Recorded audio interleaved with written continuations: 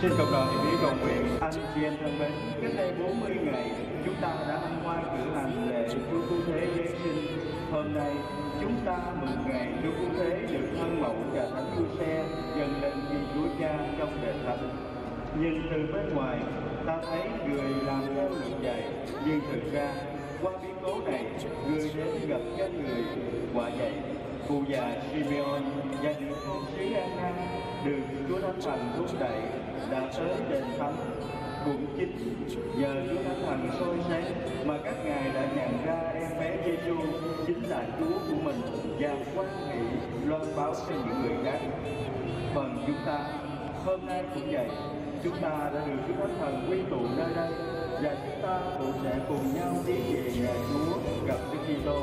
Chắc chắn chúng ta sẽ gặp người trong lúc chờ đợi ngày người trở lại vinh quang. Lạy Chúa là nguồn ánh sáng thật ngài là đấng tạo thành ánh sáng. Chúa đã chỉ nhà già Simeon nhận ra Đức Kitô chính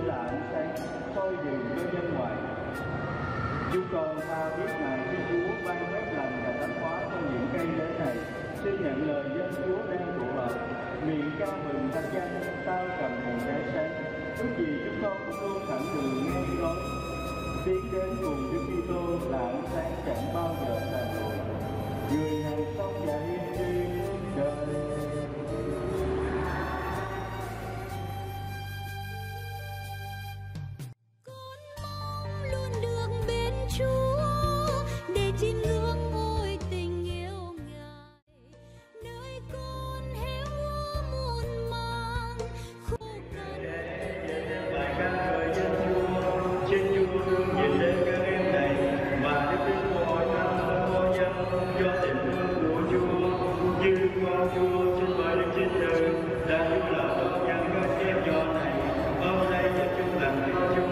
Chúa